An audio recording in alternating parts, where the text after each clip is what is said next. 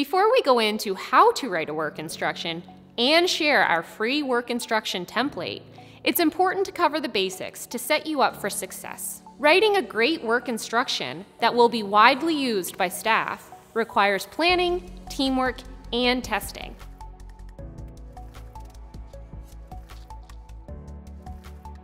A subject matter expert, or an SME, is a member of the team or an external partner who has detailed knowledge in a specific area.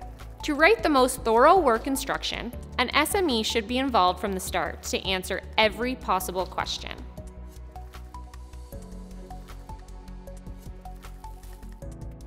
Pre-writing checklists, working with the SMEs, operators, and functional teams helps develop a checklist of all steps that need to be considered to create the work instruction.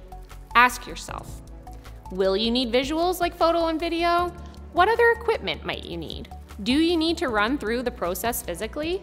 Or can the instruction be completed without a live walkthrough? Which stakeholders or partners need to be involved?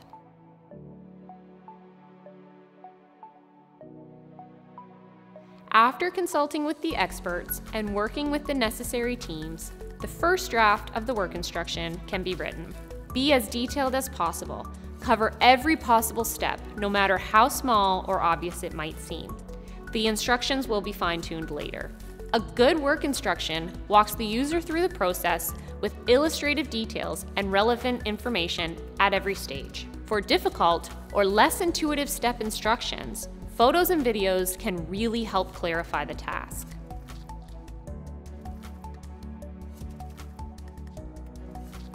When the first draft is complete, it's time to put the work instruction into action.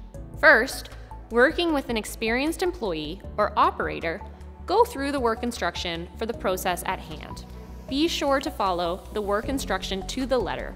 It's difficult, but try not to allow experience and tacit knowledge cloud the process. Stick to the steps, but take note if there's ambiguity or breakdowns in the work guideline.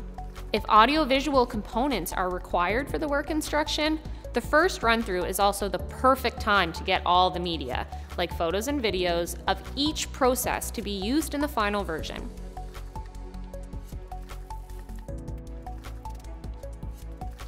After going through the first draft, Implement any changes that were noted. Time should be taken to ensure readability and clarity.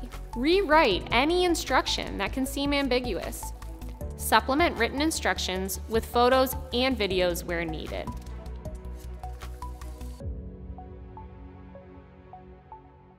Now with a complete, comprehensive work instruction in hand, it's time to try it out with colleagues of various experience levels. For some companies and industries, the work instruction may need to be signed off by operation leaders or the quality management team.